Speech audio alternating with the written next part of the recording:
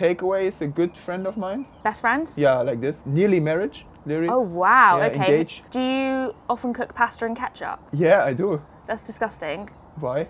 Ketchup and pasta do not go together. I have a question now to you. Okay. Okay. Sure. Some e- English player from my team, they eat things I never would eat it. Egg, like how do you call it when it's not a like Scrambled egg. yeah scrambled egg with ketchup. What is this? So you think eggs should be by themselves, no ketchup? And then pasta with ketchup is much better. Okay, pasta with ketchup is just disgusting. And really, eggs and ketchup go together because if you have an English breakfast Yeah, with the but- eggs and the ketchup and the sausages and the bacon, you see? But when I see the English breakfast, what do you want a German breakfast? no, a normal breakfast. What's a normal breakfast? Bread, Just bread on its cheese own? or something. Bread and cheese? Yeah. Mm, no.